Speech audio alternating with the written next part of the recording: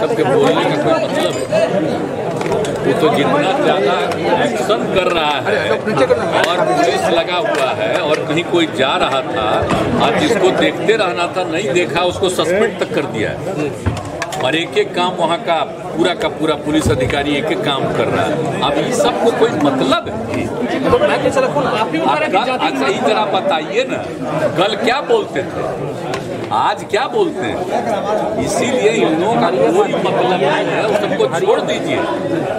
उस सबका कोई मतलब नहीं है उस सबका कोई सेंस है। आज तक इतने दिनों से रहा है जरा जितना जो लॉ एंड ऑर्डर को देखते थे वो कभी देखा है?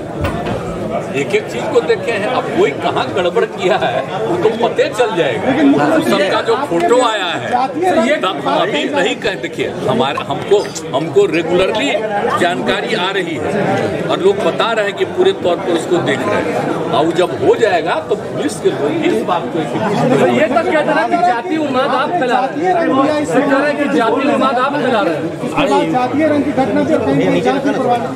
कहीं है तो वहाँ का आदमी जो बोल रहा था तो वही ना हमसे पूछे तो बोल दिए कि उसे इलाकवा में जहाँ भी हुआ। आज जिसको मार दिया वो कौन था? लेकिन घायल हुआ है उसमें तो विभिन्न जातियों के भी लोग हैं। हाँ, ये मुख्यमंत्री मंत्री है सर वो केंद्रीय मंत्री और कह रहे हैं कि गोली आपने चलवाई है ऐसा ट्वीट करना कैसे देखता है? ये कह रहा है? आप बताइए। अभी जरा सोच लीजिए कि सबका क्या है माइंड ये सबका दिमाग क्या है? सोच सकते हैं ना? तो आप सोच सकते हैं ना कि इतनी बड़ी इतनी बड़ी ऐसी ऐसी बातें करना ये सब का कोई चीज़ का जवाब देना है? ये सब तो सब लोग अपना खुद से कुछ बोलते रहता है ताकि दिल्ली वाला उसको जरा सा इज़्ज़त देते रहे और क्या करते रहे ये मुख्यमंत्री जी गोवा गोवा में एक महीने